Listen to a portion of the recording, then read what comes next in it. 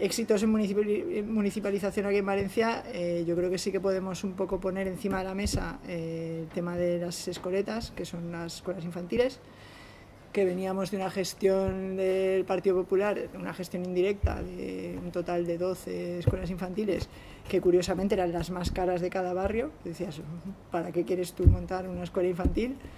De, ya no de élite, porque encima el servicio tampoco era muy bueno, porque las trabajadoras estaban en unas condiciones bastante precarias.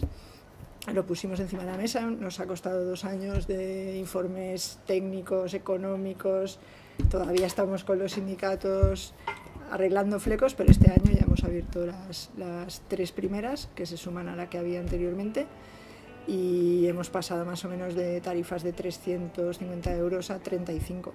y yo creo que eso sí que ha sido yo creo que el servicio también es bastante mejor porque tenemos un 50% más de personal eh, especialista por aula de lo que marca estrictamente la ley autonómica. Y luego pues también yo creo que de cara al futuro se ha hecho como una red sostenible que se puede ir replicando en toda la ciudad sin que suponga pues un poco un, gasto muy muy grande, ¿no? Está perfectamente justificado y nuestra idea es tenerlo un par de años en, funcionamiento para empezar luego a replicarlo. Mientras tanto, las de gestión indirecta también hemos mejorado los pliegos bastante, sobre todo en lo que se refiere tanto al control del modelo educativo como a las condiciones laborales de las, de las trabajadoras.